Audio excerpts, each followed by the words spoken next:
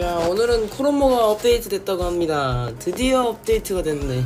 콜라보 관련된 걸로 소식 나오고 무료 Man-O-War 전설 스킨 그것까지 나왔으니까 오 못 참는데? 바로 가봅시다. 오 야 저거 콜라보 캐릭터.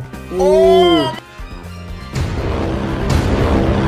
이게 뭐야? 진짜 이거 아니야. 텐센트 못 참는데?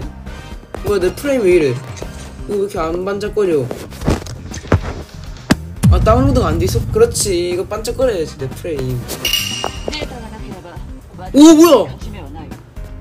New Vision City! 좋았어 한번 여기 가보자. 오야 이거 뒤로 바뀌었어. 내려. 어?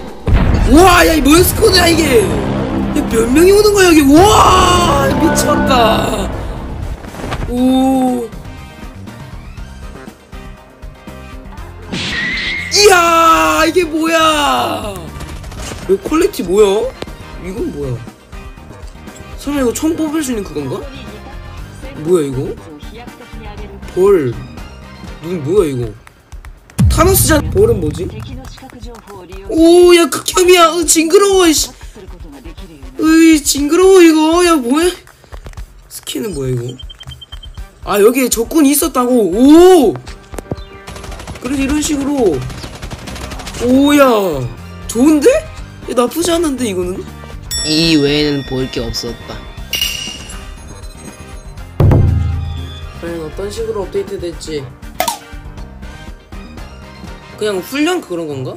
아 훈련이네 그냥 마찬가지로 볼 게 없었다. 업데이트 그냥 이게 끝인 것 같아요. 아, 진짜 이거 아니야. 그렇지 이거 아니야.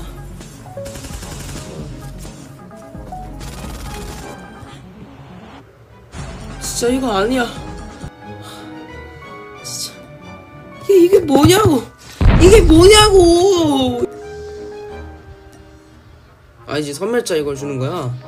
어 이건 예쁜데? 이건 얻어야겠다. 아무튼 이런 식으로 코롬모 이번 시즌 업데이트를 하러 갔는데 전체적으로 좀 아쉬웠던 패치인 것 같습니다.